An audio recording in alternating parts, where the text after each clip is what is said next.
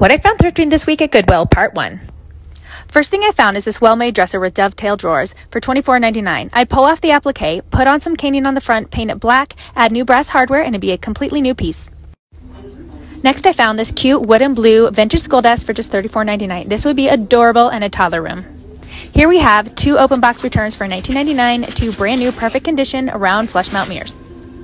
Next up, this woven watercraft for $2.99, giving me all the Serena and Lily vibes.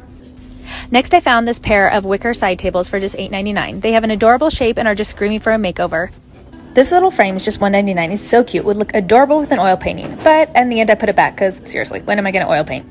Next, I found this simple bedside table with a cute drawer and two shelves for just $10.99, and I'm always a sucker for these types of drawers with little knobs. Plus, when I opened it, I discovered it's Ethan Allen. What a score! Stay tuned for part two of what I thrifted at Goodwill today, and check back later to see what I brought home.